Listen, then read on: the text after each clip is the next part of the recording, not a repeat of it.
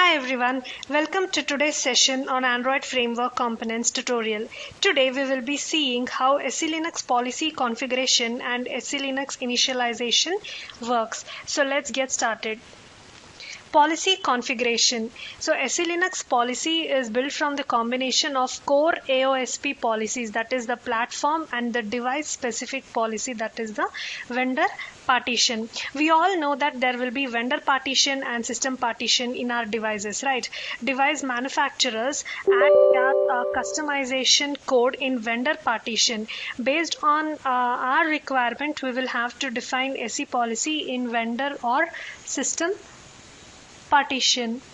So what exactly happens is um, different device manufacturers write the customization they will have different customizations right? So all this customization code relating to the ui to the new features they introduce in their phones all these code will be uh, put in the vendor partition. So if we have to uh, write any SE Linux policy those policies also should be written in that vendor partition so uh, prior to Android 7, all the policies were merged under one root directory and they were clubbed together. But from Android uh, 8 onwards, due to the introduction of the concept of treble, they have divided these policies into uh, system and vendor policies separately. So all the policies which we write for system related stuff are contained in system.img and all the policies we write for the vendor related stuff is contained in vendor.img image okay? So se policy files are placed under system se policy. All the system related se policies that is se policies written to access the system resources right. They are defined under system SE policy. And all the SE policies defined by the vendor that is the original equipment manufacturer the different OEMs whatever they define those SE policies are defined under device vendor common SE policy folder. And there will be few uh, policies under external SE policies so uh, these are the different uh, uh, files where I wanted to show SE policy uh, will be defined. Right. Uh, so to summarize SE policy, uh, we know that there are two partitions from Oreo onward, system as well as vendor. And for each of those, the SE policy should be added in their corresponding partitions. And this is the path for that policy files. The SE policy files consist of multiple source files uh, like security classes, initial SIDs, and .te files. So one thing I wanted to mention, all the policy whichever we write is written in this .te file. .te file is nothing but the SE policy files. That is a file which contains lots of SE policies. Uh, context, port context in the same order. So whatever files I have listed here, all these files will be concatenated into a single policy.conf file and then it will be compiled. This policy.conf file will be submitted to the build system to further check for uh, any syntax errors if they are present. So if any syntax errors are present, compilation errors will be thrown uh, when compilation errors will be thrown if there are any syntax errors or if the policy is already defined or if the policy is overriding any domains such uh, cases the compilation error will be thrown. So uh, one thing you remember all these uh, different context files and uh, the different security classes the different TE files where exactly your se policy is defined all of them will be uh, concatenated into a single plain text called policy.conf and uh, uh, for each file its concatenation of the same file will be placed under uh, system SE policy partition and the policy.conf is sent to SE Linux compiler for syntax checking and compiled into binary as SE policy on the device. So uh, let me go through my source code and show you all exactly uh, how many TE files and what exactly this TE file contains in this particular system SE policy partition. So let's switch over. so here I have uh, opened AOSP uh, source code Android Xref. You all can uh, go through this Android Xref and you all, you all will get multiple Android versions. Here I have selected Android 9 and uh, I am inside the systems folder. Okay, inside system folder. So as i already mentioned all the system related se policies. So se policies used to access all the system resources are defined under system se policy folder. You all can see a folder here se policy. So i'll just click on that se policy and it will just display a readme file. I can go through this uh, to understand uh, more on se policy. So um, and all the SE policies we can see uh, it can be divided into further private or public partitions okay? So I'll go to public now and we see multiple TE files. These TE files are nothing but these are the uh, files where your SE policy is defined. So uh, let me go to camera server.te file and let's see what is there exactly.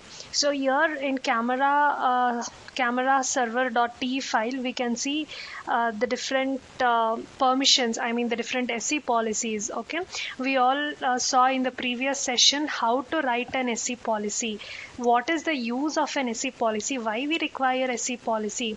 So we have some file and we have some labels to that file. That means by defining labels we are defining who should access that file. But how will I access that particular file? To access that particular file i need some policies.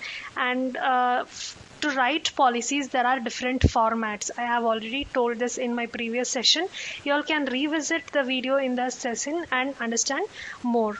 So uh, your first keyword will be allow and then comes the domain. Domain here is camera server. It will be same as the file name. So allow domain followed by the file type. File type uh, semicolon followed by the permission okay these are the four attributes. So allow is the keyword. Domain will be uh, similar to your file name because uh, this specifies from which process i'm trying to access other um, files.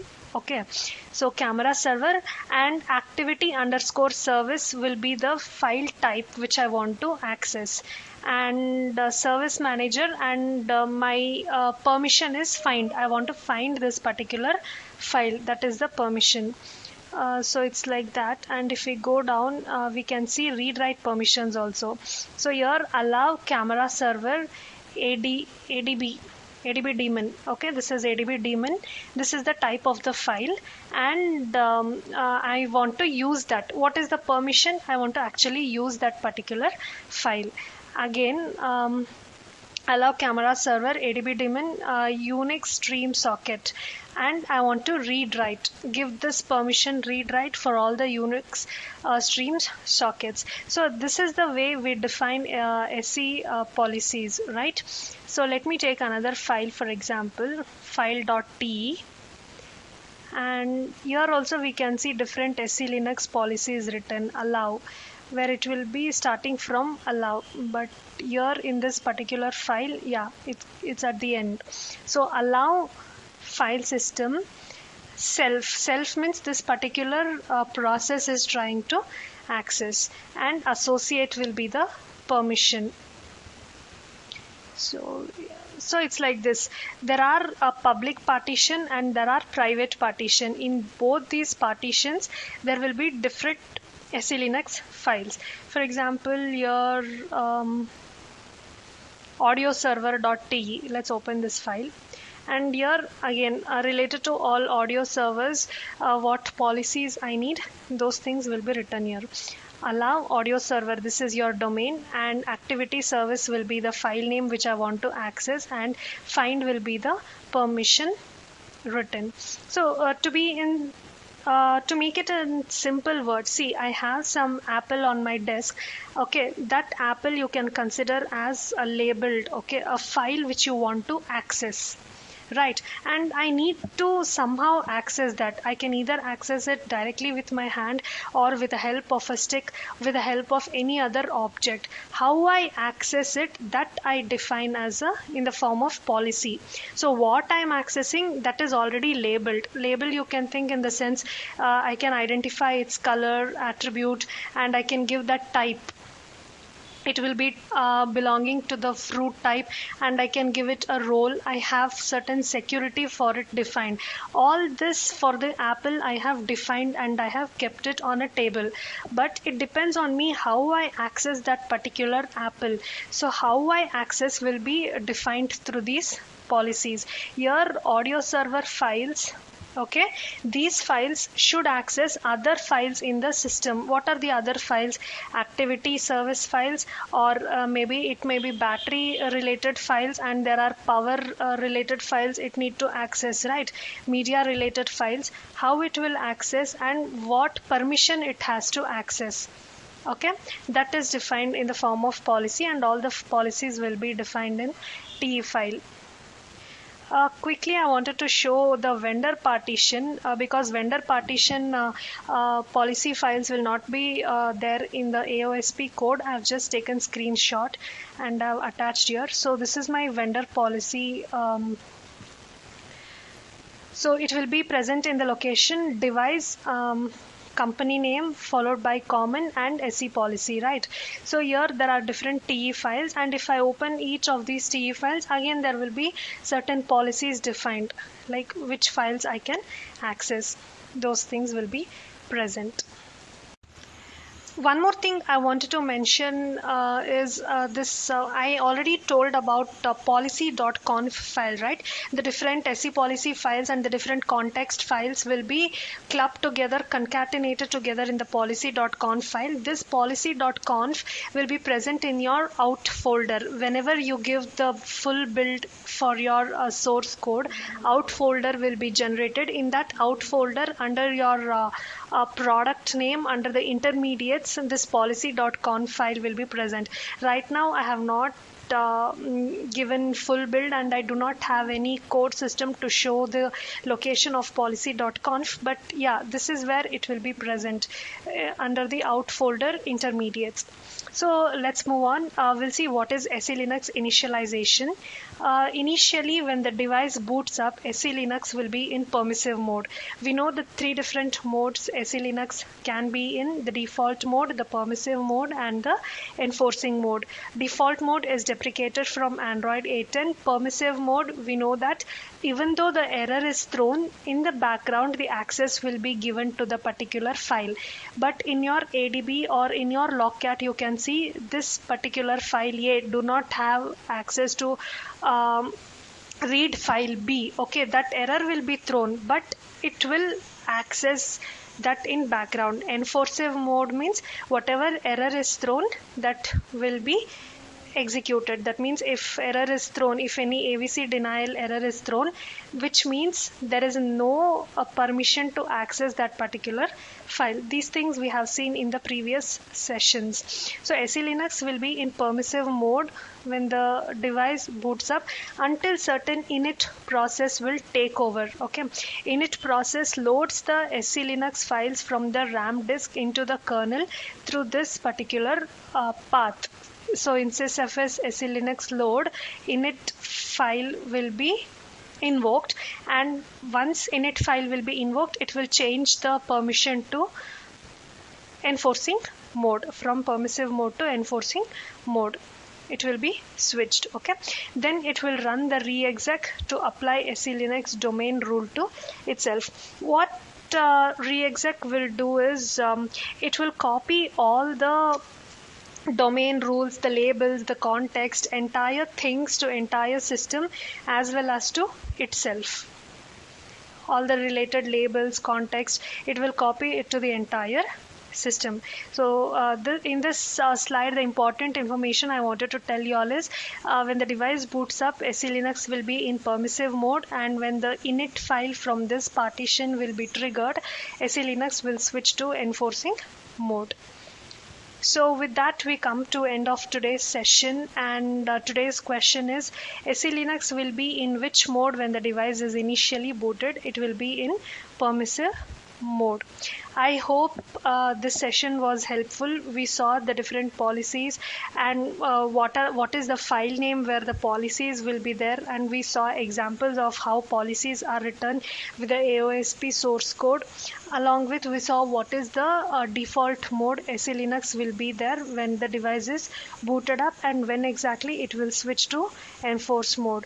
I hope this was informative and helpful. You, you would have got a rough idea where these SE Linux policies will be uh, put in okay? If it is uh, system related it will be put in uh, system SE Linux uh, uh, policy folder. And if it is vendor related it will be put in your device your uh, company i mean your uh, device name followed by common vendor partition okay?